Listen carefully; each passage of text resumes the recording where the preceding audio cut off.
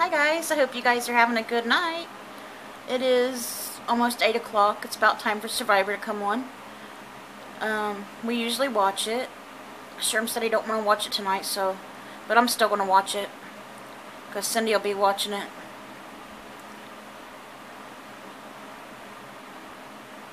And, um... Wheel of Fortune's on. I'm trying to solve this puzzle. Bulky items. I like Wheel of Fortune. I hardly ever watch it though. I just got it on this channel because Survivor will be coming on it. And it should be any time here, but um, it don't really matter as long as I see who gets kicked off. I just wanted to talk to you guys for a little bit tonight. Well, I had two incidents I thought you guys might like to know about or have a little laugh about, maybe. Um, get to laugh at me.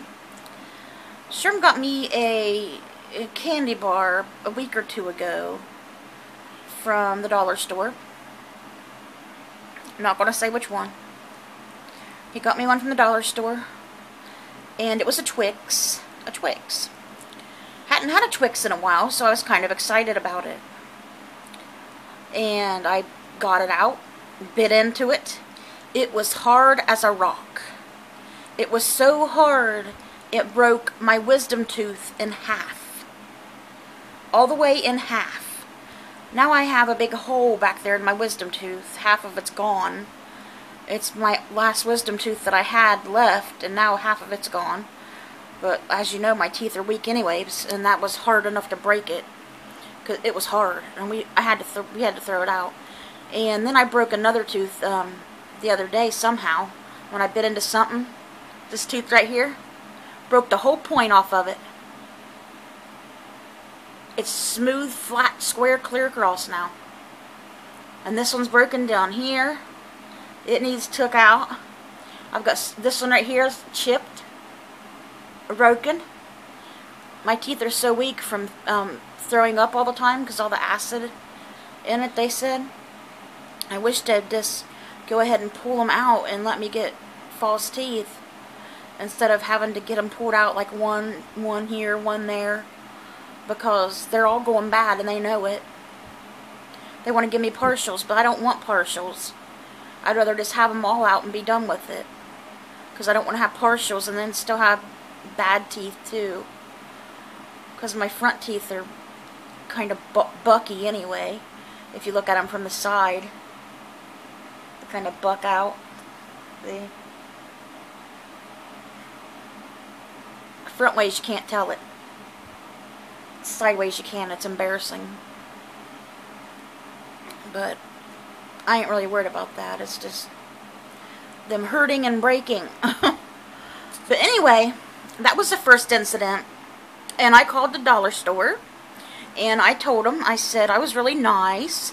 I said, um, my husband just got me a candy bar from over there and I bit into it and it was and it was stale and I checked the package and the date it was stale and I told him the date on it and I said it broke my tooth and I wanted to let you guys know about it so you can in case somebody comes in there and gets one and then they might not be so nice about it and you know complain or whatever to somebody and somebody get in trouble so he said, thank you, we'll take them off the shelf, which they probably didn't anyway.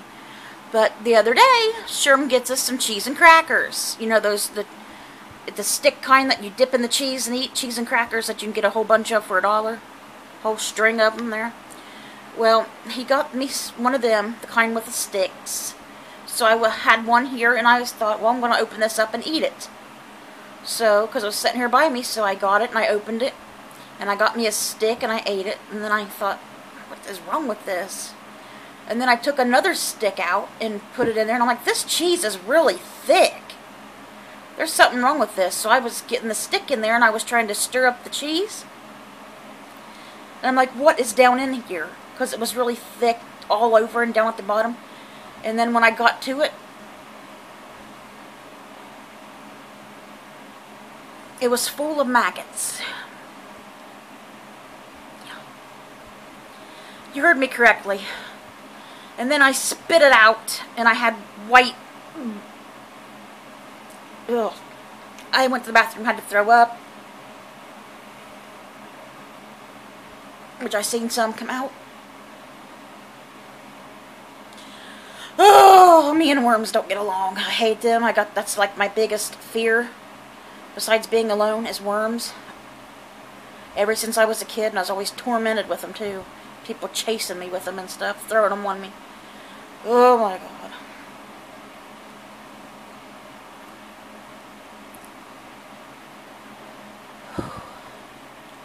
So I just took some stomach medicine and a nausea pill, hoping to go get that feeling away because I feel so sick. I mean, I got cold chills. I mean, it was horrible when your biggest fear like confronts you right in the face and it's in your mouth. But yeah, I thought you guys might want a little laugh about that. You might as well laugh at me, right? but Survivor's on now. I really don't have no favorites on this one anyway. I really don't care. I'm just hoping that big guy gets kicked off. I think his name's Scott. He's he's humongous. He's really really tall. I mean, he'd be good to have around, but he's he's an act. But he's a butt. Or I say the wrong word there. He is a butthole. He likes to cause trouble and he's just mean. He's just downright mean. And I don't like him. Forgive me for almost saying the A word. About slipped out there. Apologize. So I am getting cold, so I'm going to go put my sweater on and watch this show. And I will get these videos uploaded for you guys. I hope you guys have a good rest of your night. I love you guys, and please be careful on what you get from the dollar stores. Check and make sure it is not expired before you get it, please. And the thing, the cheese and crackers, was not expired. It did not expire till next month, May 2016, so I don't know why it was like that. But I am going to email the company tonight. But please check your stuff from the dollar store before you eat it. I would very much advise that. Okay, I love you guys, and I'll talk to you another day. God willing. Bye, guys.